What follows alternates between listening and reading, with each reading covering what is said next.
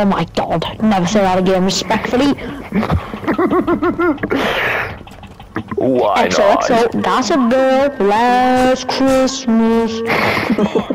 I'll you my heart. But the best